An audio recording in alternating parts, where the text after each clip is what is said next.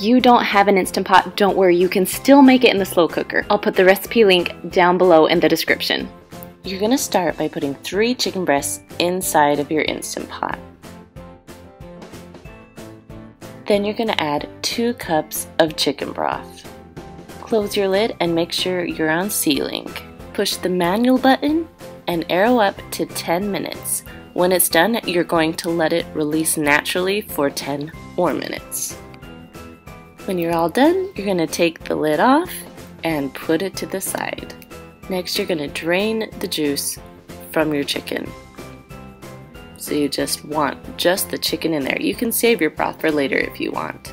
Next, I'm going to take one 8 ounce cube of cream cheese and put it in the bottom of my Instant Pot. Now my Instant Pot is still hot, so that's why I put the cream cheese in there so it can melt a little. Then I'm just gonna shred my chicken. When you're all done shredding your chicken, go ahead and mix your cream cheese in with it. Now it's time for the ranch. I added one and a half tablespoons of dry ranch dressing. Next, add some bacon bits. You can add as little or as much as you like and just stir it all up until it's well combined.